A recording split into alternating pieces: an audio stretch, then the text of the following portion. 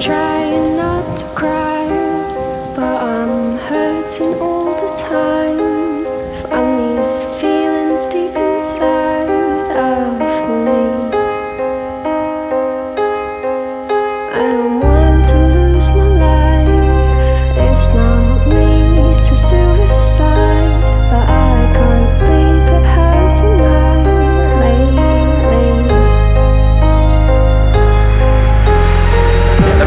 this girl called Gemma. Pretty little smile her dad used to tell her. And he was a handsome fella, recklessly drunk on Stellas. In fact, he was constantly levered.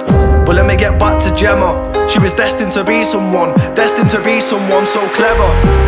She only wanted love, but she was introduced to drugs. 15 in the bars and clubs, sniffing on cocaine, and now she's moving on to the harder stuff. Emotional scars and cuts, living in a mind she never understood,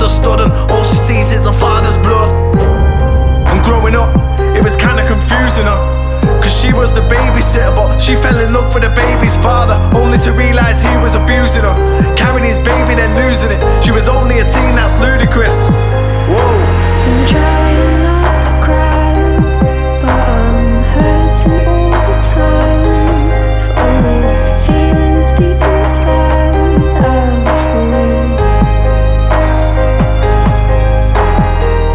Let me take her life through stages. Every little chapter, read out the pages. She was only a baby, she had two babies. And I didn't wanna say this. Her baby sister's been dragon chasing. And she really needs saving. She ain't got this, her baby's adopted. Gemma had to step in and save him.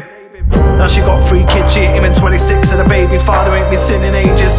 She used to hate this, but after patiently waiting, she met a savior, the ultimate greatest, who made her feel totally